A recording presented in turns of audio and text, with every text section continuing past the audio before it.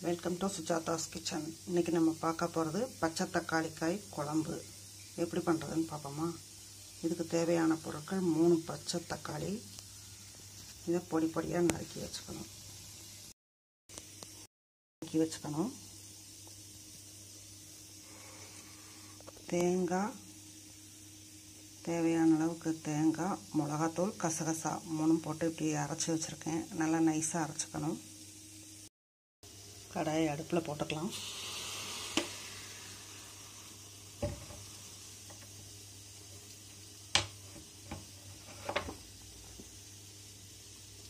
ஒரு ஸ்பூன் எண்ணெய் ஊற்றிக்கோங்க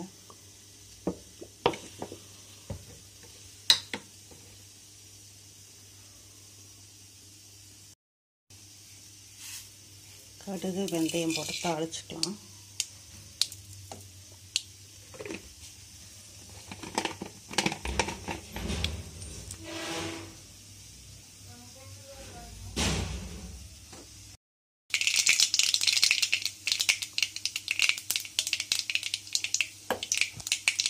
இது கூட தக்காளி காய் சேர்த்துக்கலாம்.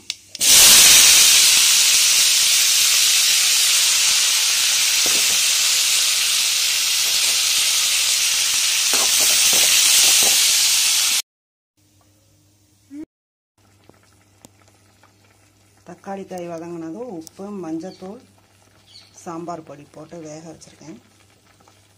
தேவையான அளவுக்கு தண்ணி சேர்த்து வேக வச்சுருக்கேன். காய் வெந்ததுக்கப்புறம் இது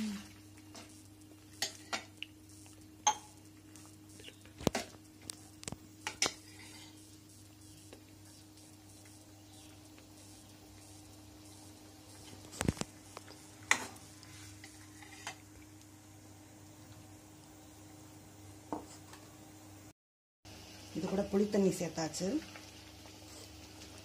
புளி கொஞ்சம் வெந்ததுக்கப்புறம் இந்த தேங்காய் அரைச்சி வச்சது இது கூட சேர்த்துடலாம்.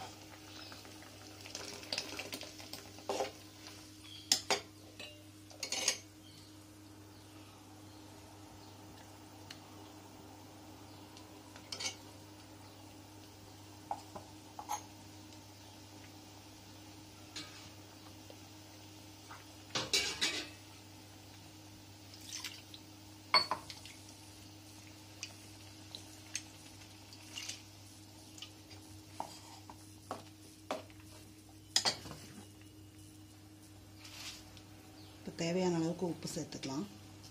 ஏற்கனவே கொஞ்சம் உப்பு சேர்த்துருக்கோம். உப்பு பார்த்து போட்டுக்கோங்க.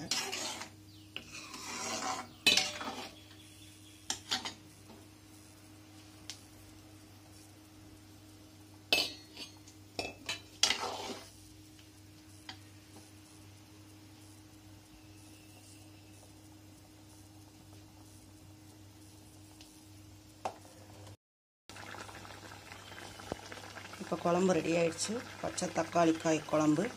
நீங்களும் ட்ரை பண்ணி பாருங்கள் நல்லா இருந்தால் கமெண்ட் பாக்ஸில் கமெண்ட் பண்ணுங்கள் தேங்க்யூ பை பை